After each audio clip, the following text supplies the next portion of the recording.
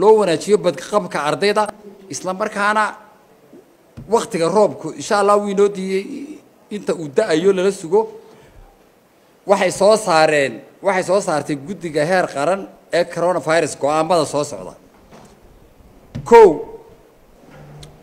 fasaxii sana dugsiyeedka labada kun iyo labaatan labada kun iyo koob iyo labaatanka horaa loo soo dhigay. Waxaanu bilaabmayaa saddex maalinta salaasada ee saddex iyo tobanka bisha afraad labada kun iyo koob iyo labaatanka. Waxaanu dhammaanayaa oo dugsiyada lagu soo laabanayaa maalinta sabtida ah ee saddexda bisha julaay labada kun iyo koob iyo labaatanka.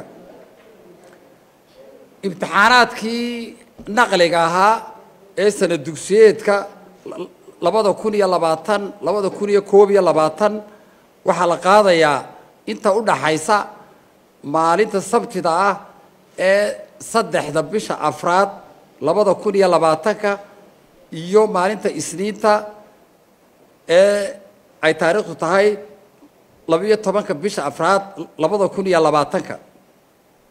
Taa macnaheedu waxa weeye dhammaan dugsiyada dalka ee ee dowladda iyo kuwa gaarka ah waxbarashada tooska iyo waxbarashada dadban imtixaankii naqliga ahaa ee sana dugsiyeedkana nimika ku jirno waa inay qaadaan tobankaa maalmood ee u dhexeeya saddexda bisha abril labada kun iyo koob iyo labaatanka iyo labiyo tobanka bisha abril labada kun iyo koob iyo labaatanka.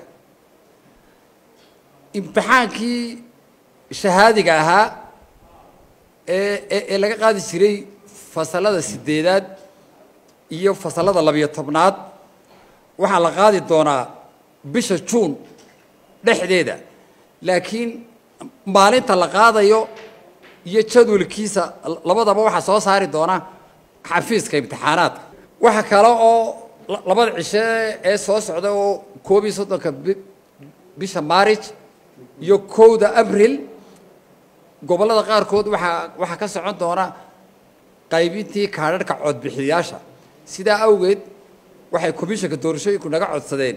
In dugsiyadii diiwaangelinta loo lagu isticmaalayey ay u isticmaalaan goobo lagu qaybiyo kaadharhka codbixiyayaasha wasaaradda waxbarashada jamhuuriyadda somalilan maanta waxay soo saartay markaa go'aamo ay isku raaceen guddida heer qaran ee ka hortagga xanuunkan coronavirus oo si gaara u khuseeya markaa qeybta waxbarashada. Waxaa la fasaxayaa markaa dugsiyada dalka dhammaantood laga bilaabo saddex iyo tobanka bisha abriil labada kun iyo kob iyo labaatanka waxaana lagu soo noqon doonaa markaa bisha julaay saddexdeeda. Dhammaan dugsiyadu markaa intaan fasaxa la gelin waxaa waajiba inay imtixaanada qaadaan.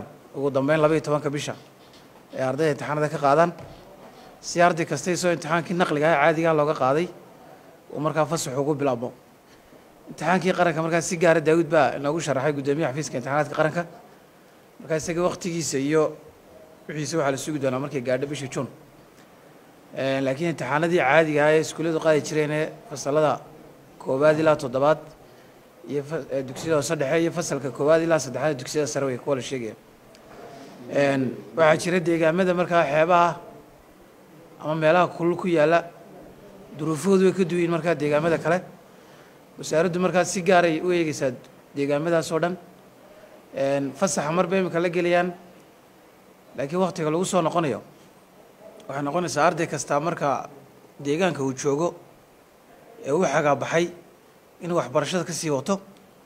Waayo waxaan ognahay deegaamada xeebaha inta badan sana dugsiyeedka caadiga lama bilaabaan. Iyadoo duruufta kuleelka iyo dhibaataday ay sabab u tahay. Iyadoo iminka hore loo soo dhigay markaa sana dugsiyeedka bilowgiisi waxaan markaa aan u warwar ka qabnaa in wakti dheer markaa ardayda ka lumi doono si waktigaa dheer laga hortago ardaydu markaa deegaamaday joogaan inta tagta markaa deegaan iskuulkuna ku yaallo cimiladiisuna qawowdahay inay halkaa waxbarashada ka sii bilaabaan. Hadhow markay soo noqonayaanna qoraal ka soo qaataan dugsiga ay waxbarashada ku sii dhigteen. Markay ku soo noqdaan markaa deegaan deegaankoodii ay marka hore ka xagaabaxeenna maamulka waxbarashada iyo kuwa degmada iyo maamulka degmada joogiyo gobolkaas. Inay ardayda markaa si gaara waxbarashadoodii sidii kor loogu soo qaadi lahaa iyo sidii loogu dhammaystiri lahaa casharadii dhaafay inay xil gaara iska saaraan iyagoo waalidka kaashanaya. Xanuunku runtii meel khatar maraya ilaahay baynu tala saaraynaa tilmaamaha caafimaad ee wasaaradda caafimaadkuna siisay iyo guddiga heer qaranna inaynu sidooda u fulinaynu dhammaanteen markaa isku baraarujinayna. Laakiin anigu si gaara waxaan uga yar hadlayaa imtixaankii shahaadiga ahaa fasallada sideedaad ee dugsiga dhexe iyo fasallada afraad ee dugsiga sare. Waxay wasaaraddu ku soo kordhisay runtii loona baahnaa in horeba loo loo isticmaalo. Ardayda imtixaanka foorfoorka u fadhiisanaysa iyo eydharhka had iyo jeer ardaydaasi mar alla markay foorfoor gaadhaan ama kuwa kalena eydh gaadhaan inta badan in yaroo iskuullaaho dee iyagu dadaale mooyiye ardaydaasi imtixaanka finalkay iskuulladoodu gelayaan kamay qayb qaadan jirin. Waxay wasaaraddu ku soo kordhisay markaa oo compulsary laga dhigay inay foonfoorka iyo eydharhkuba hadduu ilaahay idmo intaan imtixaanka foonfoorka aan la gelinba imtixaanka way la soo gelayaan iskuulladooda. Waa in iskuulkaa iyagana wuxuu noqonayaa tijaabo tayadoodana kor buu u qaadayaa. Waxaana wasaaraddu weliba aaminsan tahay in tallaabo laga qaado ama imtixaanka foonfoorkaba lagu xujeeyo hadduu soo geli waayo imtixaankii iskuulka ee foonfoorka iyo eydharhka arrintaasina waa arrin aada loogu baahnaa. In badan oo horena meelo badan baan runtii ka sheegnay